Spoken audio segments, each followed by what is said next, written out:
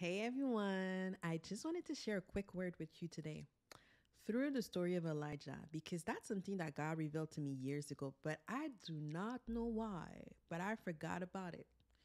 And um, I was following um, this woman, and we had to read 1 King 18. And then I was like, you know what? Let me go back a few verses before and read back the story. And yo, through the story of Elijah, especially that moment that Elijah said that no rain was going to fall for who knows how long. And the Lord said, Go hide yourself, but I'm still going to feed you. I'm still going to give you water to drink. And God did not use a human being to go feed him, right?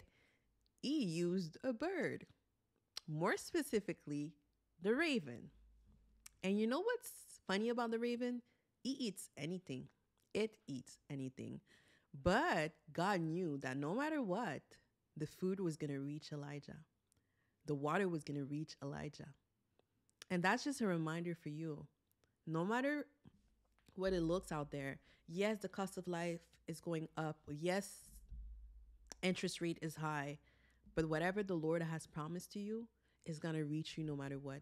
And no one can take that away from you because what is yours is yours. So stop worrying. Stop seeing what the world is showing you. Focus on God. Focus on the promise of God. Focus on what the Lord has told you He was going to do in your life. It's not time to argue with the Lord. Trust me, it's not going to get you anywhere. But best believe that if He said He's going to bless you, He's going to do it because He's God and He's the only real God. Best believe that. All right. So have a blessed day.